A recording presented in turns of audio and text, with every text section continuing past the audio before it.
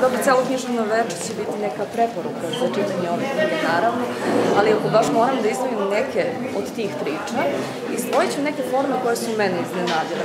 Ono što je zanimljivo pod uh, zbirku priča Stvarno veče jeste njena raznovrsnost, njena raznolikost.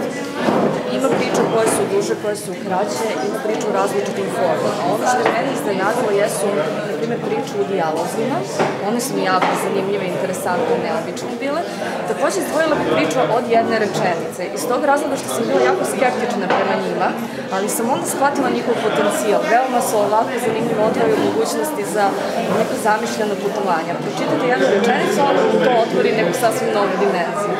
E, ima naravno još nekih priča, evo mogu da pomenem e, priču Tamni cvet, ona je meni ovako po svojoj strukturalnoj savršenosti bila upečatljiva, a možda je to isto nekog e, mog čitalačkog ukusa koji i ne mogu baš da objasnim iz svog razloga mi se naročito dopala ta priča, ali eto nju bih izdvojila, decembarsku noć bih izdvojila ima tu naravno još, još neke.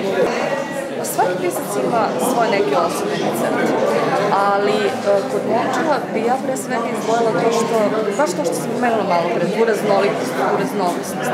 Zato što kada otvorite neku zbirku, uglavnom budu na neki način slične priče u njoj. Možete da uhvatite neku nit, da pratite priču, da prelazite iz priče u priču, a ove priče su svaka za sebe, zanimljive na svoj način, imaju svoju poetiku i to je ono što mislim da, da je osobena crta momča kao mesec.